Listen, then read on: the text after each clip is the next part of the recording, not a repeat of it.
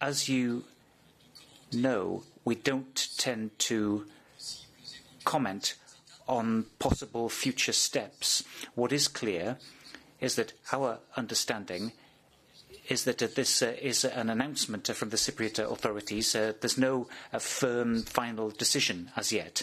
So that's how we need to judge the situation. And uh, possible actions on the part of the, Commission in this area. Any other questions? For Christian? No, I can't see anyone. Are there any other questions on other subjects?